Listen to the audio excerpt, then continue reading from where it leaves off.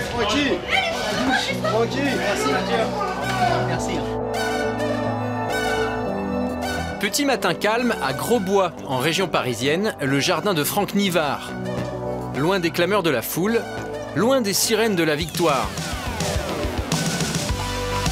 Une journée d'entraînement comme une autre a cultivé l'art de la drive.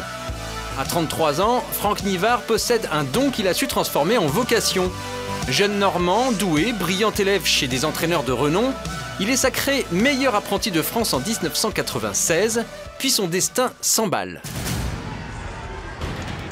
Il s'offre le prestigieux prix de Cornulier, trois fois le prix du président de la République, deux fois le prix de France.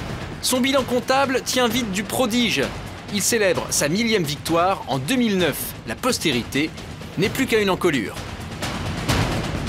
Et c'est parti pour ce prix d'Amérique 2012. Rédicage qui essaye de sortir, Rédicage qui va sortir. L'envolée de Rédicage dans quelques instants. Il passe à la contre-attaque.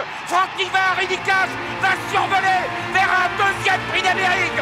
Prix d'Amérique, puissance 2, Rédicage. Franck Nivard, Griff est deuxième. En 2012, il gagne son troisième prix d'Amérique, dont deux avec le crack Ready Cash. Il aura même remporté trois des quatre courses préparatoires au Sacre de Vincennes.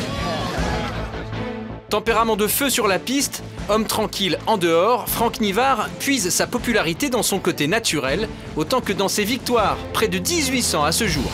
Vainqueur de la Kazakh League 2011-2012, il a déjà gravé son nom dans la légende de son sport, un exploit pour celui dont la carrière reste en grande partie devant lui.